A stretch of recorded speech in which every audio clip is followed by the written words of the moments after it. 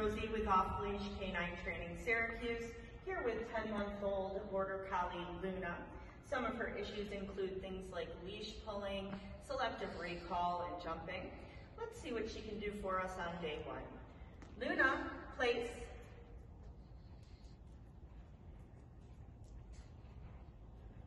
Luna, down.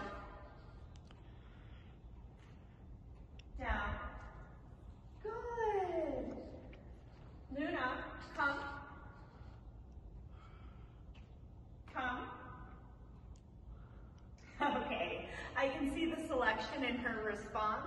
Looks like we have a little bit of work to do, so stay tuned for an amazing transformation. You ready? Yay!